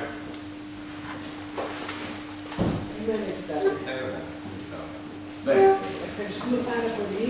Ε, σας θυμίζω ότι είμαι παιδίατρος. Ε, βεβαίως η βιολογικό, το βιολογικό υπόστρωμα όλων αυτών των κατηγοριών που αναφέρατε ε, οδηγούν σε μια σκέψη ότι αυτού του είδους οι διαταραχές έχουν ένα υπόστρωμα αίτιο παθογενετικό ή από, σαν αποτέλεσμα άλλων επιδράσεων. Ε, έχω την εντύπωση ότι ο χαρακτήρας ενός ανθρώπου, ωστόσο, που τονίσατε και αυτό το θέμα, είναι η υπόθεση του πώς μεγαλώνει και ανατρέφεται ένα παιδί, ένας άνθρωπος. Δηλαδή υπάρχουν καταστάσεις οι οποίες ευνοούν την εκδήλωση ε, φοβικών ε, έτσι, στοιχείων και άγχους και υπάρχουν καταστάσεις οι οποίες τις καταστέλνουν, δηλαδή τρόπος μεγαλώματος. Εγώ ήθελα να ρωτήσω και να αφού επιβεβαιωθεί αυτό, μπορεί ένας άνθρωπος ο οποίος είναι ισορροπημένος και φτάνει μέχρι την ηλικία των 50-60 ετών, περάσει εφηβείες κλπ. κλπ. και που είναι, έχει μια σταθερή και ισορροπημένη αντίδραση σε εξωγενή ερεθίσματα ή τέλος πάντων μικρή εκτροπή την οποία μπορεί κανένας να την αυτονομήσει για τον εαυτό του και να πέσει σε μεγαλύτερη ηλικία σε μια τέτοια κατάσταση. Αυτό ρωτάω. Δηλαδή, ένα άτομο πότε παρουσιάζονται αυτές οι φοβίες; Υπάρχουν από μικρό παιδί μπορεί να δει ορισμένα ναι. σημάδια ή πρέπει, πρέπει δηλαδή, εγώ μπορώ που υπήρξα παθολογικά ένας ήρεμος άνθρωπος με την έννοια του ότι δεν θα υπάρχει ασφαλώς το παθολογικό και από την άλλη πλευρά. Θεωρείται αδιαφορία, μια ψυχρότητα ή οτιδήποτε άλλο, συναισθηματική απόσυρση και και και. Μπορεί ποτέ να κάνω μια κρίση φοβική; Όχι. Στην ηλικία που είμαστε, εδώ, όλοι, Βέβαια και μερικούς νεαρού ανθρώπους από εκεί. ε, οι φοβίες ξεκινούν στην νεαρή ηλικία. Θα λέγαμε επειδή είστε εξαιρετικοί καθηγητέ στην παιδιατρική, από την παιδική ηλικία. Τα πρώτα φοβικά συμπτώματα ξεκινούν από την παιδική ηλικία. Βεβαίως βάλετε ένα, ένα ερώτημα διληματικό, αν είναι γονιδιακό, αν είναι επιγενές, αναπτυξιακό κτλ. Θα σας έλεγα ότι είναι διπλό το φάσμα. οι εκτιμήσει όλες. Εγώ είμαι λίγο και της βιολογικής πλευράς. Πιστεύω ότι το βιολογικό δέντρο δίνει το δικό του σήμα. Η ομοφιλοφιλία, έτσι που έχω ασχοληθεί πολύ, αποδεικνύεται πλέον ότι είναι γενετικό υλικό. Είναι γενετικό κώδικας ο σεξουαλικός προσανατολισμός. Παίζει ρόλο η νευροχημία του εγκεφάλου, παίζει ρόλο τα πρότυπα ανάπτυξης, αλλά το μεγάλο κεφάλαιο είναι το γονίδιο. Οι φοβίες αναπτύσσονται μαζί με τη ζωή. Γιατί η ζωή η ίδια είναι απαιτητική. Γίνεται επιθετική. Είμαι λίγο τη σχολή του Σκίνερ και του Γάτσον που έλεγε ότι ο άνθρωπος στο ερέθισμα πρέπει να απαντάει. Πρέπει να απαντάει όμως στο δίπολο της λογικής και της σύγκρισης. Διαφορετικά θα γίνει έκτοπο, θα γίνει παράνομο, θα γίνει θέλει. Αυτό λοιπόν το στοιχείο, η φοβία φαίνεται ότι πολλές φορές το παγιδεύει μέσα στην αδυναμία διαχείρισης. Δηλαδή το άγχος και ο φόβος, που είναι φυσιολογικοί μηχανισμοί, όλοι φοβόμαστε και όλοι έχουμε. Ω μηχανισμός όμως παθολογικής προέκτασης, φαίνεται ότι πυροδοτούνται μηχανισμοί γονιδιακοί, γενετικοί, συνθήκες του περιβάλλοντος που διαμορφώνουν την ανάπτυξη της φοβίας ως παθολογία, ως νοσολογική οντότητα, σχεδόν στα 20 με 25 χρόνια ζωής του ανθρώπου. Εκεί κάνει το boom, κάνει η έκρηξη. Ως το τώρα μια δικηγορίνα που δουλεύει σε ένα μεγάλο υπουργό της πρώτης κυβέρνησης, 24 χρονών. Ένα γλυκύτατο άτομο, πανέξυπνο, και μου λέει ότι έκανε κρίση πανικού, όντως είχε κάνει μια τυπική κρίση πανικού στο αυτοκίνητό της. Ω πρώτο σύμπτωμα. Όταν τη ρώτησα όμως Είχες φοβίες; Είδα 15-20 φοβίες ότι είχε. Οι οποίε δεν είχαν απειλήσει, το ήλεγε. Όταν πήγα στο κληρονομικό ατομικό ιστορικό της, η μητέρα της είναι ήδη υποθεραπεία για φοβίε. Ο πατέρας είναι διπολικός, έχει μια έτσι έκρητη λογική εκφράσεων και το κορίτσι αυτό που έχει μια αδελφή που είναι τελείως το αντίθετο, πολύ κλειστή, πολύ ελεγχόμενη, αυστηρή, αυτό το άτομο εμφάνισε τώρα, 20 χρονών ακριβώς, που τελείωσε την νομική και μπήκε δίπλα υπό συνθήκες πίεσης βεβαίως, μπήκε σε μια κρίση πανικού. Σε αυτές τις ηλικίες βλέπουμε τα πολιτικά στοιχεία να εξαπολυστά. Στην τρίτη ηλικία τι βλέπουμε, βλέπουμε το υπαξιακό κόσμος.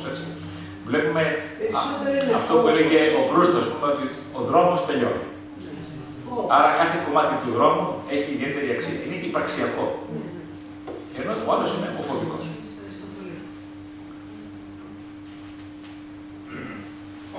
και το άγχος μπορεί να είναι για τον ασθενή, εφόσον μιλάμε τώρα στην ηγετική αυτή την αίθουσα, ε, που θα του συζητήσουμε για μια ασθένεια, για ένα πρόβλημα που μόλις παρουσιάστηκε. Αλλά αυτό ε, τι σχέση έχει με το φόβο ή το άγχος που έχει ο γιατρός ο ίδιος. Δηλαδή, αν εγώ έχω έναν ασθενή ο οποίος μόλις είδα ότι είναι σε μια νέα ηλικία, παρουσίασε ένα καρκίνο ή τέλος πάντων ένα χειρουργικό πρόβλημα πολύ σύνθετο, το οποίο μπορεί αν η εμπειρία μου δεν είναι τέτοια και η γνώση μου να το προλάβω για να μην φοβηθώ εγώ ίδιο για την αντιμετώπιση του προβλήματο. Ένα το ζητούμενο και δεύτερον για τον ασθενή. Δηλαδή, θέλω λογοθεραπεία, θέλει και ασθενή θεραπεία, θέλει αξιολόγηση, χρειάζεται κάτι εδώ. Ε, νομίζω ότι βάζει ένα επικίνδυνο σημείο που παγιδεύει την έννοια του φόβου και την έννοια του εργασιακού κόστους, του επαγγελματικού στρες. Η ευσυνειδησία σε απλή λογική. Δηλαδή, ο επαγγελματίας, ειδικά ο γιατρός που εμπλέκεται πάρα πολύ με τη ζωή και το θάνατο. Και οι χειρισμοί του έχουν καθοριστική σημασία στο αποτέλεσμα. Ο ίδιος πόσο ενσυνείδητος είναι, ενσυναίσθητος, σε βαθμό που αναγνωρίζει ανεπάρκεια ή κόστος λάθο, αν πάει κανεί παρακάτω, δηλαδή την προσωπικότητά του, πιο πολλοί γιατροί πρέπει να ξέρετε, εμείς έχουμε πολλούς γιατρούς. Γιατί, γιατί οι γιατροί έχουν ιδιοψυχαναγκαστική προσωπικότητα. Για να γίνεις γιατρός πρέπει να είσαι ψυχαναγκαστικός. Πρέπει να είσαι δηλαδή πολύ ελεγμένο, απόλυτος, τεκμηριωμένος, αναλυτικός. Άρα αυτό όλο στην επαγγελματική σου ευσυνειδησία μπορεί να κοστολογηθεί όχι ως διαταραχή, ως συμπεριφερειολογική εμπλοκή. Η διαταραχή δίνω είναι η αιμονή των συμπτωμάτων. Όταν αρχίζει πλέον η ζωή σου και διαλύεται. Δηλαδή δεν μπορείς να χειρουργήσεις. Δεν μπαίνεις στο χειρουργείο. Ή αισθάνεσαι ότι θα πεις και θα πεθάνει διότι θα κάνεις ένα λάθος και θα του κόψεις μια αρτηρία και θα πεθάνει. Δηλαδή, οτιδήποτε που κοστολογείται δυσλειτουργικά, που σε δυσλειτουργεί, τότε αυτό είναι νόσος. Εάν όμως έχεις μια επαγγελματική ευσυνειδησία ή έχεις μια φόρτιση συναισθηματική, αυτό που το ξέρεις, νομίζω μαζί είχαμε ζήσει τον Ανδρέα του Μινακίδη. Είχαμε φόρτιση συναισθηματική έτσι, με κατάσταση που ήταν άνθρωπος δικός μας. Εκεί προφανώς μπαίνουν πολλά προσωπικά στοιχεία γιατί είσαι άνθρωπος. Δεν είσαι ρομπότ, δεν είσαι του Νταβίντσι που χειρουργεί χωρίς συνέστημα και με λογικές καθαρά πολιτικές. Άρα εδώ ο γιατρός άνθρωπος μπορεί να εμπλακεί σε μια δική του φοβική, αν υπάρχει ως προπόθεση υποστρωματική άμυνα και κατ' επέκταση να γίνει νόσος, ή ο ίδιος να έχει μπει σε μια συγκινησιακή φόρτιση, και μάλιστα εγώ ξέρω δύο χειρουργούς πολύ καλούς, που χρησιμοποιούν λίγο αγχολητικό πρωτού χειρουργήσουν. Δεν είναι κακό αυτό. Ή λίγο β' που κάνει μια καταστροφή του αναπληκτικού. Αυτό όμως έχει να κάνει μια φυσιολογική αντίθεση. Το παθολογικό είναι όταν δυσλειτουργείς. Δεν μπορείς δηλαδή να διαχειριστείς την ευθύνη και το αποτέλεσμα που περιμένεις από τον Άγιος. Αλλά είναι πολύ καλή ερώτηση αυτή, γιατί βάζει και το δίκτυο του ηθικού κώδικα του γιατρού. Είναι πολύ συχνό ε, και υπάρχει, α δούμε, στην χειρουργική προσέγγιση ενός βαριά ασθενούς και η λογική του ότι αυτός, εφόσον κληθώ εγώ να με χειρουργήσω γιατί έχει ένα χειρουργικό πρόβλημα, η μία κατηγορία ιατρική προσέγγιση λέει είναι πολύ βαριά άρρωστος για να χειρουργηθεί, και η άλλη μου λέει είναι πολύ βαριά άρρωστος για να μην χειρουργηθεί. Εγώ προσωπικά ανήκω στη δεύτερη κατηγορία λόγω της εμπειρίας μου και των γνώσεων κτλ. που έχω σαν χειρουργός. Αυτό όμως ε, η πρώτη κατηγορία είναι γιατί μπαίνει ο φόβος και το, το επαγγελματικό έσω κακό αποτέλεσμα λόγω της βαριάς κατάστασης του ασθενού που δεν το δικαιολογώ εγώ σαν χειρουργός, εφόσον έχω τη γνώση και την εμπειρία να προχωρήσω. Ε, αλλά όμως στην καθημερινή πράξη δεν είναι μόνο πώς εμείς αισθανόμαστε και το προφίλ που θα αναλάβουμε για να διεκπαιρεώσουμε το πρόβλημα του ασθενούς. Έχουμε να κάνουμε με τον ίδιο τον ασθενή που πρέπει να δούμε αν θα πρέπει να τον ηρεμήσουμε ή όχι, να το φοβήσουμε κάτι που δεν το κάνω ποτέ, του κάνω το λάθο για να του πω: Εσύ φοβάσαι και είναι φυσιολογικό. Έχεις αγωνία και είναι φυσιολογικό. Τρέμει, εγώ δεν τρέμω, εγώ δεν έχω αγωνία. Αλλά εγώ δεν το κάνω δικό μου φορτίο αυτό. Δεν το, δεν το, δεν το κάνω να μου δημιουργήσει πρόβλημα. Αλλά πρέπει πολλούς συναδέλφους που μόλις το κάνουν αυτό, ουρλιάζουν, φωνάζουν, βρίζουν. Ναι. Αυτό, αυτό είναι πρόβλημα. Το έχω ζήσει εγώ νεαρός γιατρός. Ναι. Το στρες του, ναι. του χειρουργού και η ευθερικότητα που αποφορτίζει ναι. μέσα στο χειρουργείο. Ναι. Ναι, να σου πω και ένα ανέκδοτο γι' αυτό που μπαίνει μέσα ο ασθενής στο χειρουργείο και τρέμει. Είναι γυμνός, τον ετοιμάζουν, το φώτο από πάνω και τρέμει αυτός. Του λέει πάνω πάει ο χειρουργός, βάζει τα πέντε, του λέει τι κάνεις έτσι, παιδί μου; Λέει γιατί τρέμω πρώτη φορά λέει. Μπαίνω στο χειρουργείο, λέει γι' αυτό λέει και εγώ φοβάμαι και τρέμω. Και εγώ του λέει πρώτη φορά στο χειρουργείο, έτσι να τρέμω. λοιπόν, ορίστε. Ε, εγώ όσον αφορά την την επιλεκτική αραλία, ε, όταν ε, σε συνέδρια έχει υποθεί, είπατε ότι είναι η συνεχή αποτυχία των παιδιών να μην σε κοινωνικέ καταστάσει.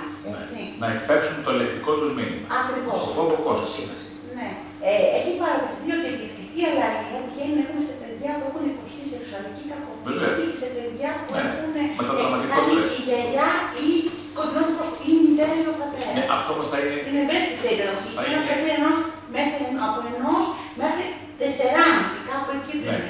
Αυτό όμω θα είναι ελεγμένο σε μια χρονική περίοδο. Ναι. ναι. Βεβαίω, αυτό που είναι πολύ σοβαρή παράμετρο. Αν υπάρχει ένα ιστορικό τραυματικό γεγονότο, ένα μετατραυματικό στρε που είναι μια σεξουαλική κακοποίηση, ακόμη και μια κακοποίηση μη σεξουαλική.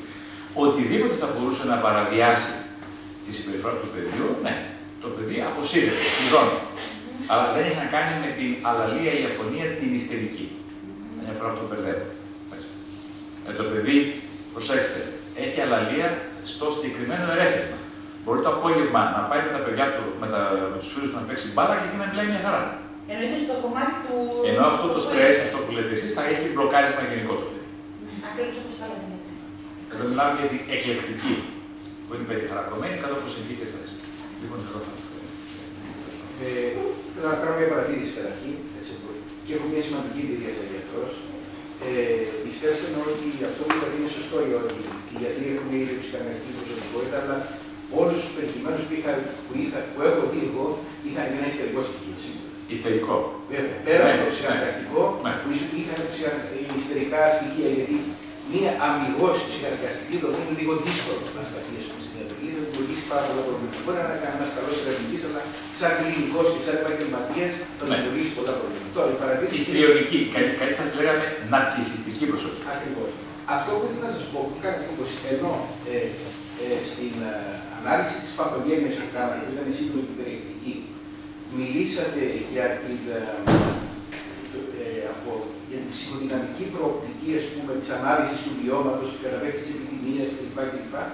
Εν τούτης, ε, στο, στο θέμα των θραβιών δεν αναφέρω καθόλου την ψυχαναλυτική ψυχοθεραπεία σαν ε, προσέγγιση. Τι έκανα Όχι, την είπα, την είπα. Την έχω ενταγμένη. Α, συγγνώμη. Υπάρχει, ναι. Κοιτάξτε, οι ψυχοδυναμικέ θεραπείες έχουν χάσει έδαφος. Όχι, δεν ήταν καλές. Ήταν μακροχρόνιες και κοστοβόρε. Αυτό είναι ένα, είναι ένα, ένα ε, αλλά... Ξέρετε ότι ο χρόνος και της ζωής μας, τα γεγονότα των τελευταίων 50 χρόνων, έχουν κάνει τον άνθρωπο στον χωρόχρονο να κοστολογεί πολύ το ρολόι του. Δηλαδή, έναν άνθρωπο, ο οποίος υποφέρει από ένα σύμπτωμα, μια κατάσταση, και του πεις έλα για τρία χρόνια.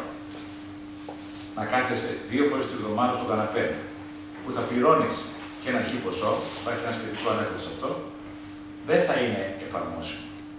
Γι' αυτό και απευθύνεται σε πολύ ειδικές ομάδες, σε κεντρικές προσωπικότητες, σε πολύ πλούσιους ανθρώπους που αισθάνονται την ανάγκη να χαλαρώσουν και να εκφραστούν σε έναν αναλυτή.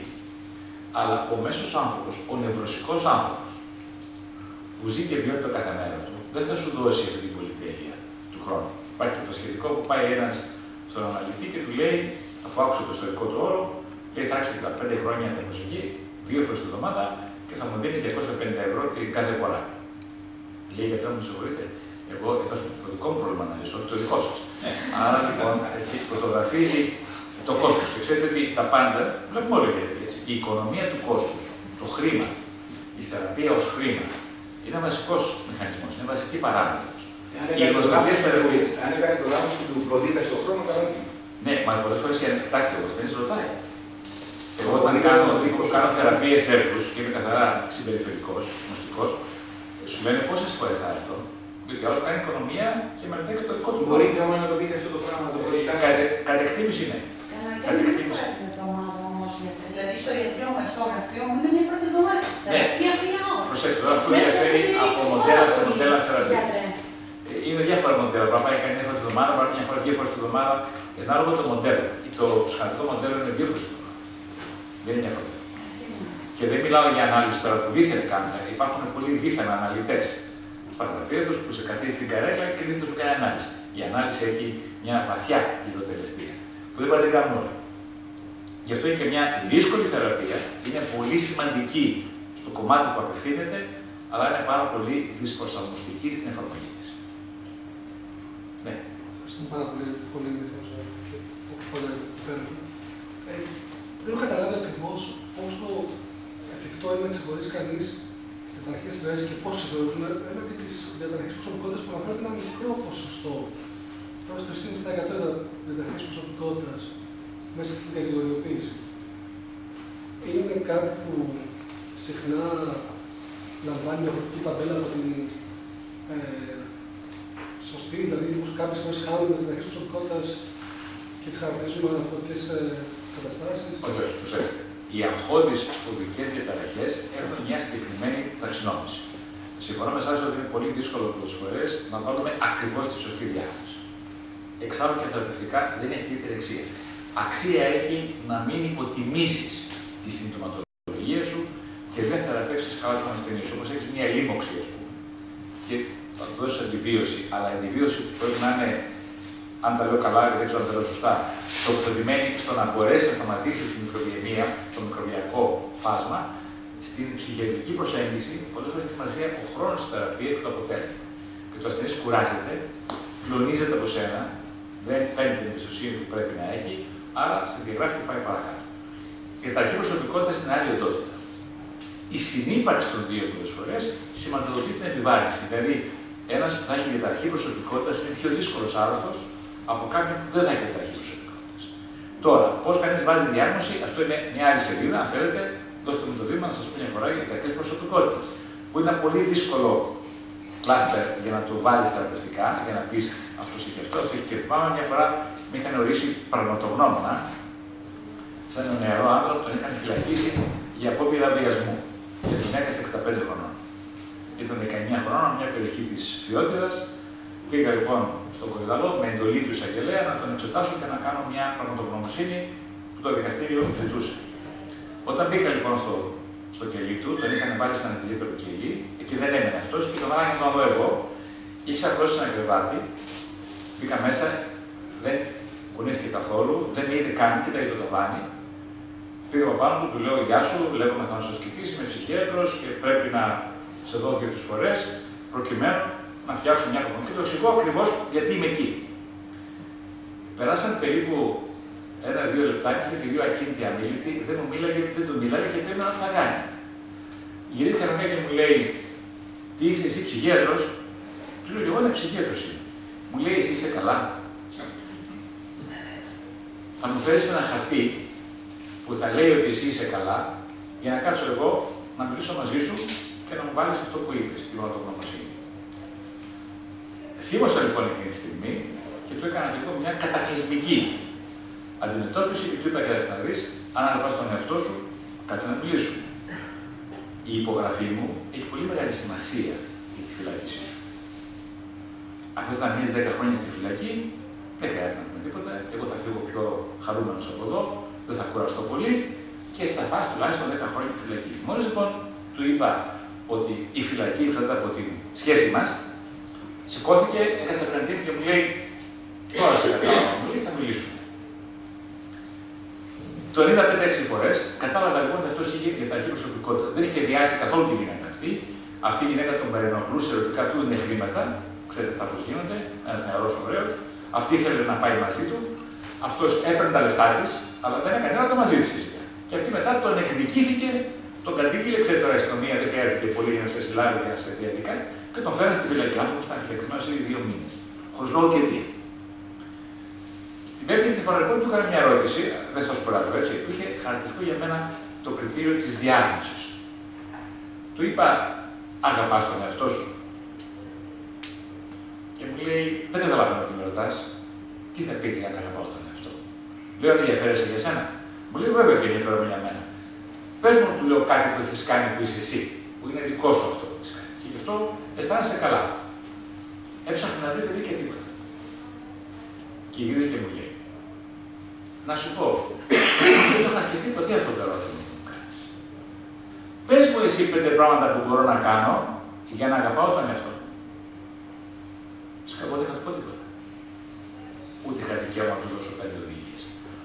Κατάλαβα όμως ότι είχε αυτό δύο χαρακτηριστικά διαταραχής. Τώρα ήταν το ναρκιστικό που τον χαρακτήριζε, τώρα ήταν το αντικοινωνικό που τον πλημμύριζε. Αυτός λοιπόν είχε μια διαταραχή προσωπικότητας που μέσα στο ιστορικό του που είδα και μεγάλωσε, δεν έμαθε ποτέ να αγαπάει, δεν έμαθε ποτέ να διαχειρίζεται δικά τον εαυτό του και είχε μάθει ή να επιτίθεται ή να αισθάνεται αυτός είναι ο καλύτερος από όλους και διαχωρίζει την εικόνα του από όλους τους άλλους. Είχε γίνει λοιπόν αντικοινωνικό για να μείνετε. Ο πατέρας του, να φανταστείτε, ήταν ναυτικός, γύριζε με πόρνα στα καράβια, γύρισε πίσω, είχε κολλήσει κοντιλώματα, το έμαθε η γυναίκα του, του έκανε σπίτι φασαρία, τα άκουγε το παιδί αυτό. Είχε μια αδερφή που είχε φύγει με μια θεία που ζούσε ήδη σε μια άλλη πόλη της Ελλάδας. Η μάνα του ήταν μια αυταρχική καταπιεστική γυναίκα, τελείως άκαμπτη, δεν επικοινωνούσε καν με το παιδί της. Το παιδί αυτό μεγάλωσε σε ένα δίπολο ενός κακού, ανόητου, διαταραγμένου πατέρα και μιας άκαπτης αυταρχικής μητέρας.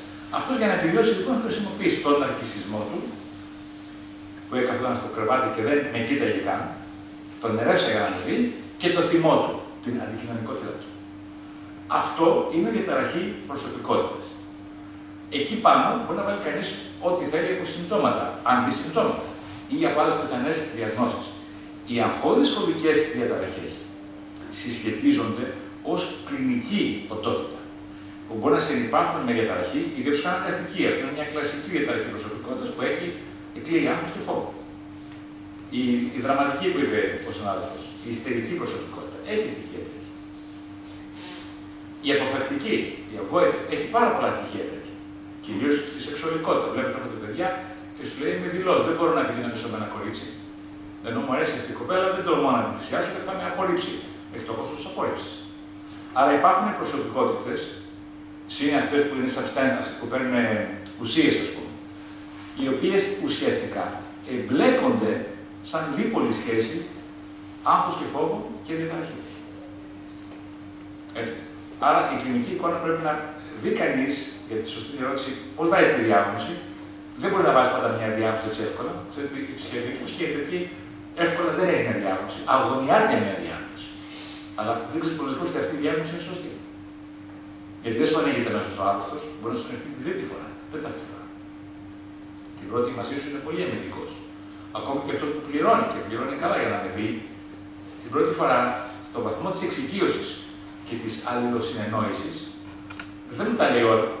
Αν με εμπιστευτεί και το καταλαβαίνει και στο τέλο τη συνεδρία που σου λέει: Έχω κι άλλα να σου πω, αλλά του λέει: Του λες, δυστυχώς ο χρόνος τελείωσε. Δεν μπορεί να σε κρατήσω άλλο. Αυτό είναι άλλο πρόβλημα δικό μας. Έχουμε το ρολόι.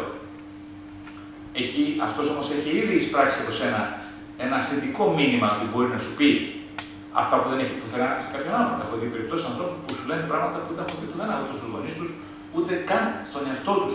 Αστέρι που λέει ότι τα ακούω που τα λέω για πρώτη φορά εγώ ίσω. Θα σκεφτόμαι και τα έχω στο μυαλό μου πολλά χρόνια.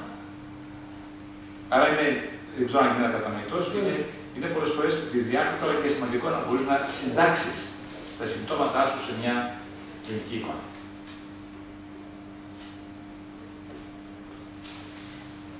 Ήθελα να σα ρωτήσω γιατί εάν οι φοβίες αυτές, οι κοινωνικές φοβίες, θεραπεύονται. Ναι, θεραπεύονται. Όλες οι φοβίες Σε οποιαδήποτε ηλικία, εάν το παιδί έχει ξεκινήσει μία φοβία από, τε- από την εφηβεία και έχει φτάσει τώρα 30-35 χρονών, αυτός ο άνθρωπος μπορεί να το ξεπεράσει; Ναι. Ε, λέτε κάτι πολύ σπουδαίο. Η- Όσο πιο νωρίς αντιμετωπίζεις φοβίες σου, τόσο καλύτερη πρόγνωσή σου, όπως και θέλετε και γενικότερα. Ναι. Η αλήθεια όμως είναι ότι σε κάθε ηλικία υπάρχει η θεραπευτική απάντηση. Βεβαίως, ο βαθμός συνεργασίας έχει να κάνει με την αξία της απάντησης. Διότι αυτός που θα μπει σε μια θεραπεία, που μπορεί να είναι μεικτή θεραπεία, να έχει ένα πολιτικό και ένα σεσαράριο, λέμε, οτιδήποτε άλλο. Αυτό, αν του δώσει ένα αποτέλεσμα, που το βλέπει κανείς σε 15-20 μέρες που θα έρθει πάλι να σε δει, είναι η πρώτη εγγύηση ότι μπράβο γιατρέ, με βοήθησες γιατί αλλάζει η ζωή μα. Κοιτάξτε, να έχει ένα φοβικό και ξαφνικά σε 20 μέρες να αισθάνεται ότι μπορεί να βγει έξω, να μπορεί να εκφραστεί, να μπορεί να μιλήσει, να επικοινωνήσει. Είναι σπουδαίο γεγονός. Γιατί σε κάποιον ο οποίος έχει ένα ιατρικό πονάει μέσα του και σε 10 μέρες περπατάει. Έχει ένα μεγάλο αβαντάζ. Από εκεί και μετά όμως αρχίζει μια συναλλαγή με το φάρμακο. Γιατί έχει από πίσω του ανθρώπου που του λένε Μα ακόμα παίρνεις φάρμακα, δύο μήνες, τρεις μήνες. Μα ακόμα παίρνει φάρμακα, δεν έγινες καλά. Ξέρετε ότι το έγινες καλά σημαίνει κόψει το φάρμακο. Στην ψυχιατρική είσαι καλά γιατί παίρνεις φάρμακο. Δεν είναι μόνο αυτό, είναι και να αλλάξει και συμπεριφορά. Ναι, αυτό είναι το κομμάτι της ψυχοθεραπείας. Βεβαίως έχεις μεγαλύτερες δυσκολίες όσο πιο μεγαλύτερη ηλικία είναι ο ασθενής σου. Είναι πιο Όταν απαιτητικό. έχεις ένα ασθενή, ο οποίος δεν, δεν λέει «Ε, έχω αυτό το πρόβλημα και νομίζω ότι δεν θα γίνω καλά και θα ζήσω με αυτό το πρόβλημα. Πώς Το μπορείς είδατε αυτό αυτό που το το να- έδειξα ότι πιο πολλοί δεν πάνε καν στο γιατρό. Ορίστε. Δεν ξέρω αν το διαβάσατε που το έδειξα, ότι πιο πολλοί δεν πάνε καν στο γιατρό. Είναι αρνητέ. Ναι. Αυτόν τον άνθρωπο πώς μπορείς να τον πείσεις ότι θα θεραπευτεί και θα πρέπει να πάει στο γιατρό; Το κακό είναι ότι δεν μπορούμε να πείσουμε κανέναν. Το σημαντικό όμως είναι να μπορείς να τον επηρεάσεις. Δηλαδή, πόσο αυτός ο άνθρωπος σε εμπιστεύεται ή αισθάνεται ότι αυτό που του λες είναι σωστό και η δική του σκέψη και η κρίση τον οδηγεί να πάρει την απόφαση να έρθει στη θεραπεία, αυτό θα εξαρτηθεί από δύο παράγοντες. Πρώτον, η σχέση που έχεις μαζί του και δεύτερον, το ψυχικό κόστος που εκείνη τη στιγμή αυτός βιώνει. Δηλαδή, αν δει ότι βιώνει κάτι πολύ δυσάρεστο, από αυτό μπορεί να πιαστείς και να κάνεις, όπως έλεγε ο Βέλεπερ, χειρισμούς διαχείρισης. Και μόνο αυτό. Δεν μπορεί να τον πείσει όμως ότι όχι, πρέπει να πας αύριο, έχω κλείσει πολιτικά μου στο γραφείο μου. Τηλεφωνούν και λένε ραντεβού και λέει ένα όνομα. Είναι το παιδί του. Και λέει αυτός δεν έρχομαι. Δεν πάω. Ναι. Δεν τον έχει ρωτήσει καν. Ω γονιός που αγαπάει το παιδί του και βλέπει τι υποφέρει, τηλεφωνεί στο γιατρό και παίρνει ένα ραντεβού. Το παιδί όμως δεν έχει συμφωνήσει από το ραντεβού, ούτε έχει ενημερωθεί. Μου έχουν φέρει ασθενή που απ' έξω διάβασε την ταμπέλα και σκόθηκε και έφυγε. Όταν είδε νευρολόγο του γιατρού. Γιατί αυτό ακριβώς είναι το λάθος. Η πιστικότητα δεν πρέπει να είναι απαιτητικότητα ή αυταρχικότητα. Πρέπει να έχει χειρισμούς. Ο χειρισμός έχει να κάνει με το βαθμό εμπιστοσύνης, αυτό που του λες εσύ που τον αγαπάς, πώς το αντιλαμβάνεται, και δεύτερον, με τον βαθμό του δικού του κόστους, του σωματικού ή του ψυχικού άλλους που βιώνει αυτό το πρόβλημα. Μια εκπομπή της θεραπείας από αυτή την κατηγορία θαυμάτων που είναι το πρώτο τελευταίο διαφάνεια για ένα διάστημα για όλους τους ιατρικούς. Αυτό που δημιουργεί μεγαλύτερο άγχος πρέπει να σας εξηγήσει κανείς ότι αυτό δεν θα σας προκαλέσει πρόβλημα, είναι κάτι το οποίο θέμα ψυχιάτρου ξανά, είναι θέμα παθολόγου και χειρουργού. Η διακοπή της φαρμακοθεραπείας. Ναι. ναι. Αν είναι απόλυτη ένδειξη, πρέπει να γίνει. Βεβαίως θα το εξηγήσεις ότι πρέπει να σταματήσεις. Ε, δεν έχουμε πολλές ενδείξεις που εμείς διακόπτουμε τα φάρμακά μας, μόνο αν έχει μια αναισθησία χειρουργική που θα είναι για πολύ μικρή χρονική περίοδο, αλλά ουσιαστικά δεν έχουμε λόγους να διακόψουμε την αγωγή μας. Αυτό που έχει σημασία είναι αυτό που κάποια στιγμή αρχίζει και διεκδικεί τη μείωση των φαρμάκων. Και εκεί το δύσκολο σημείο. Μειώνουμε τα φάρμακα. Μπορούμε να τα διακόψουμε όταν έχουμε μια σταθερή μεταβλητή της συμπεριφορά του και έχουμε ένα αποτέλεσμα το οποίο τον ικανοποιεί και τον καλύπτει, μπορούμε να τολμήσουμε διακοπή. Δυστυχώς όμως σχεδόν δίνω το 30 με 40% στο εξάμεινο υποτροφίας. Δυστυχώς. Και όπως είπατε σωστά, όσο πιο μεγάλος είναι που πάει στη θεραπεία, τόσο πιο εύκολη είναι η υποτροπή σε σχέση με το νέο παιδί που προσαρμόζεται πολύ καλά στις θεραπείες συμπεριφοράς.